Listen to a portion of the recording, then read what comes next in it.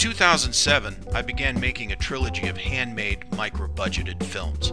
The goal was to have more fun while making a film, but be just as polished and professional as any other film that was not so handmade.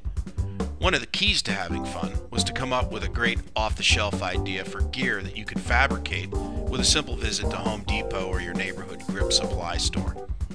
One of my digital rules demanded that I do not rent any equipment that would force me to take out a big insurance policy to indemnify the gear.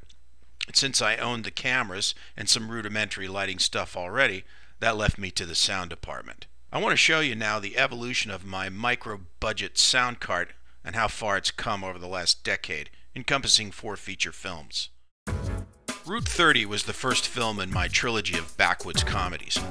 Since my DP, Keith Duggan, had his orders to keep his camera and lighting gear to one small minivan or SUV, it was up to me to build my first rolling sound cart that captured the spirit of the No Frills movie. Here's what Sound Cart Beta version looked like a small, lightweight Home Depot hand truck with a plastic Staples office supply file bin zip tied to the frame. This cart turned out to be a very good first version. It was light, very portable, and could be lifted by one guy into the minivan.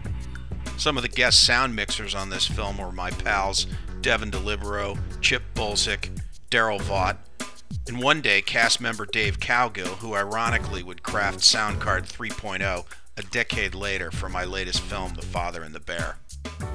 Let's move along to Route 30 Too, which was shot three years later in the bitter winter of 2010. Back to South Central Pennsylvania we went to continue the hijinks of the now beloved and cultish characters from the first film. For two, I wanted to step up the quality and function of the sound cart, which was dubbed Sound Cart 2.0, and ended up being used for two films total. Let's take a look at some of the improvements. New heavier duty hand truck from Film Tools in Burbank with pneumatic tires. I refreshed the Staples bin and this time raised it higher so I could put a die-hard battery below for onboard power.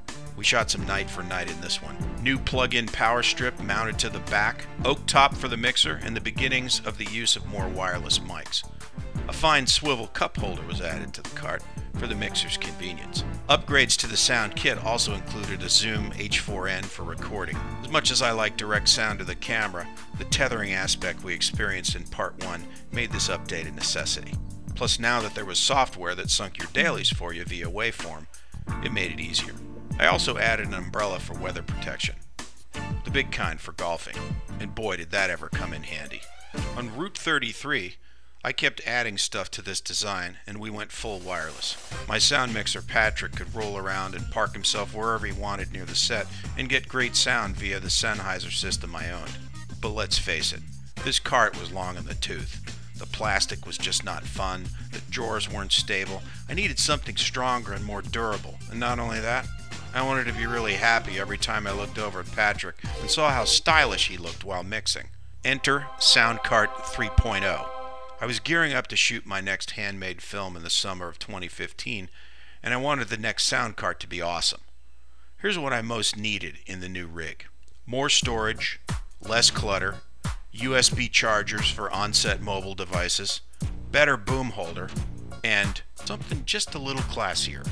As it turns out, one of my oldest friends and lead actor in the trilogy happens to be a master carpenter and makes crazy great furniture right out of his garage. I felt despite the weight implications, I needed to have something more solid that would last for the next five films and beyond. So I challenged Dave Cowgill to create the backbone of Soundcart 3.0, the ultimate chest of drawers. Using the same film tools dolly, I headed over to Dave's to get him started on the project. These plastic cheap, cheap ass Bed Bath and Beyond little shelves. So we're going to replace those. We tore those out and are going to replace it with a beautiful wood custom made cabinet with uh, several drawers in there for all the, the sound items. Thank you.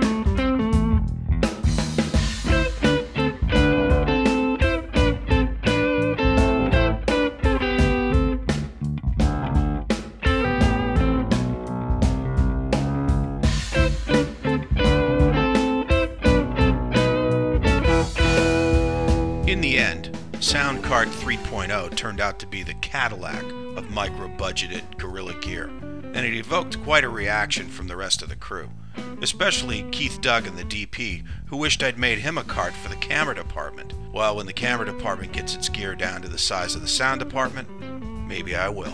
Let's look back at the progression of this fun little cart. Beta, 1.0, 2.0, and 3.0. As you can see, you can make pretty much anything out of stuff you see at Lowe's or Home Depot. And I'm happy to say that I'll be using my African mahogany with zebra wood inlay sound cart for many more films to come. My DP buddy Ross Berryman sent me a picture one day of a broom cam that he was using on the set of Grimm up in Portland. I was instantly hooked on the idea of making my own to use on one of my shoots. So off to Home Depot I went to find a soft bristle indoor push broom.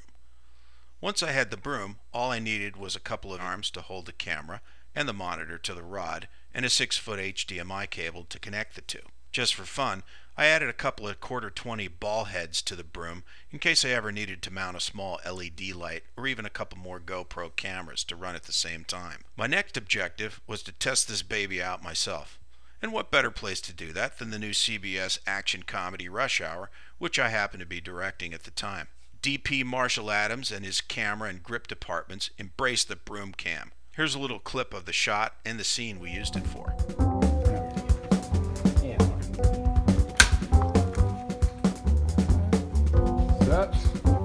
Ready and action.